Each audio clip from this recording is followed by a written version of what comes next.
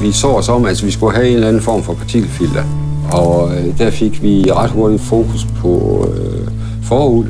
Det er anderledes i forhold til, hvad mange andre bruger.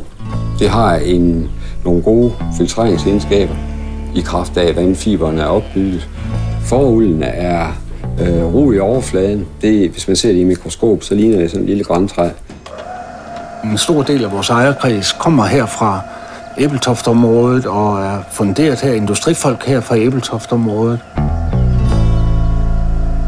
Vi har lavet den første prototype af vores anlæg. Så havde vi brug for en samarbejdspartner, som øh, testede vores anlæg og så, om det også øh, levede op til de forventninger, vi selv havde til det i praksis.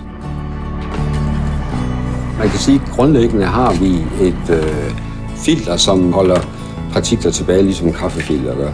Og derfra så strømmer olien ned i et vandseparationskammer, hvor der sidder en varmekilde, som varmer noget luft op. Og den varme luft trækker vand ud af olien. Og olien den returnerer så til det system, man filtrerer på.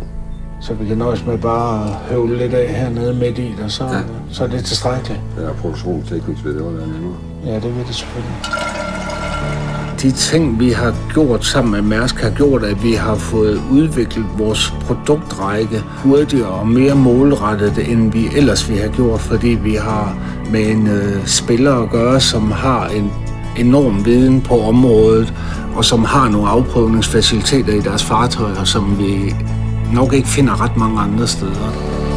Jeg bryder mig ikke om ordet opfind, fordi der er et eller andet øh, utroligt nørdeværk over det, der er noget geobioløs over det, og det er sådan lidt odiøst, han er opfindt.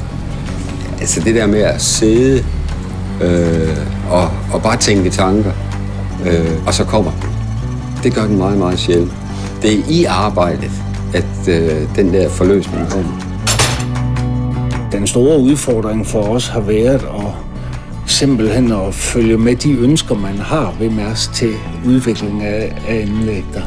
Nogle gange kan vi inspirere dem med gode idéer, men de kan sandelig også udfordre os med idéer til, hvad de synes, vi skal kunne. Jeg holder sig til madpakken hele vejen. Bare. Bare.